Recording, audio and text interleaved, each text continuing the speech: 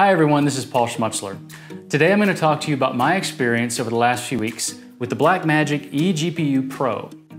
So what you're looking at is a very elegant all-metal enclosure, inside of which is an AMD Vega 56 card.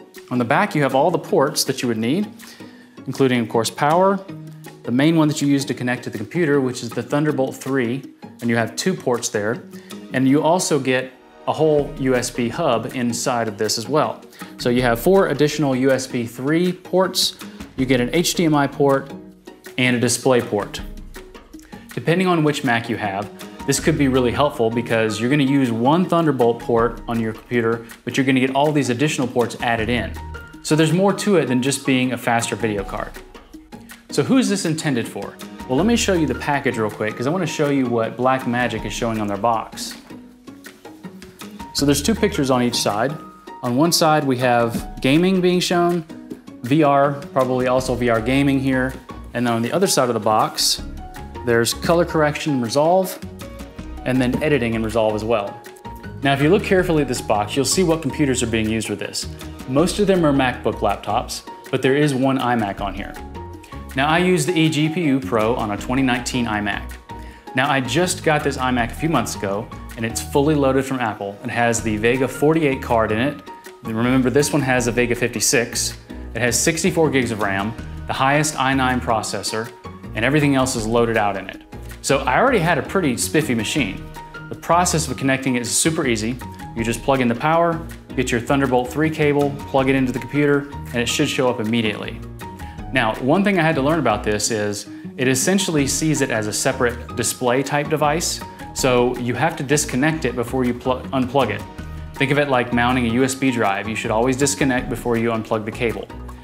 Now, I did have a couple times where I actually needed to disconnect it, and I went through the process of clicking on the top where the clock is on your Mac OS, telling it to disconnect, and then it takes a good 20 to 30 seconds, and all my applications completely crashed, and the computer went to the please press a button to restart screen. This is the gray screen with the big power button in the background.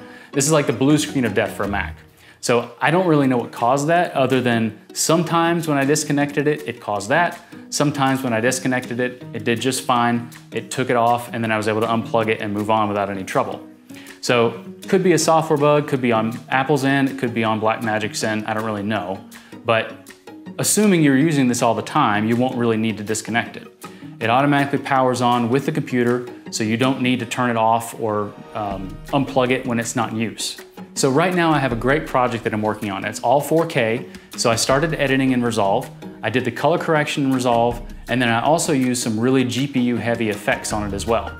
Lots of blurs and special effects like that. Depending on which version of Mac OS you're on, if you open your activity monitor and go to the window button at the top, you'll find that you can open a GPU monitor and it's a small black persistent window that'll stay over top of every window on your screen unless you minimize it.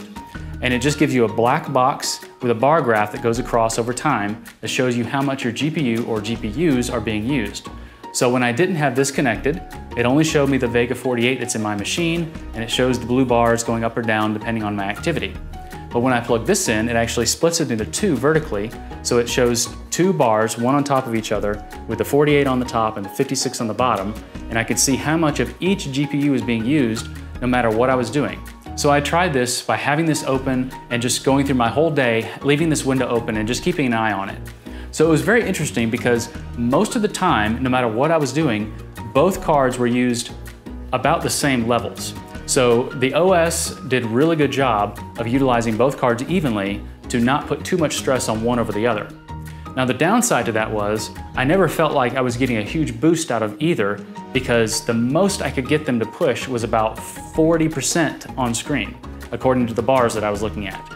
Now, that's not a lot, but that's not insignificant either, because if you figure I only had one card in there, it might use 80% of its power, which is gonna be a lot more wattage, a lot more heat, and energy, usage. So maybe I'm saving a little money by using this, or maybe it's about the same because this is equaling out no matter what. It's just split over two different cards.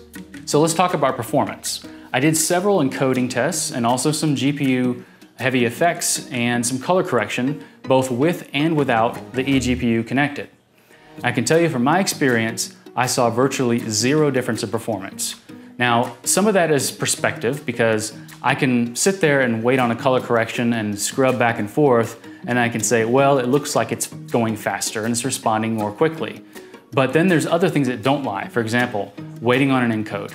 So I used my 4K footage and I exported a 4K H.264 or H.265. Um, I also down-resed it to 1080p. No matter what I did, every single encode was within one to two seconds of each other. And that's certainly within a margin of error depending on how you want to rank things. So maybe it's me, maybe my laboratory wasn't the greatest way to test this. Either way, whether it really helped me or not, it was still fun to try, and it was still neat to be able to find the GPU monitor that's found on the Mac OS so that I could see actually how my GPU is being used, whether it was with both or just the built-in GPU. But remember, the Pro version costs about $1,200, so that's a pretty expensive investment to get some performance gains. And unless you know that your GPU is what's causing your bog down on your machine and your workflow, I don't know that this is always gonna be the best answer. But for those that need a portable machine like a laptop, and they have the Thunderbolt 3 capability, the eGPU Pro might just give you some performance gains that'll really speed up your processes.